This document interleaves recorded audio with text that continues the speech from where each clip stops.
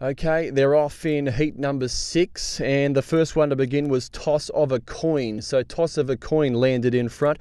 Version two is going to run through into second position from Autumn Ridge, who's in third, and the grey is Tripoly, and they're very nice and compact here. It's version two who's in front, but there's not much between them. Now, the grey Tripoly comes out of the pack and goes to the front. So Tripoly in front from Autumn Ridge version 2 and Toss of a Coin is the last one. At the 350, Tripoly's going to turn in front, courses wide, leads the way from Autumn Ridge who cut the corner. Then version 2 and Toss of a Coin is the last one.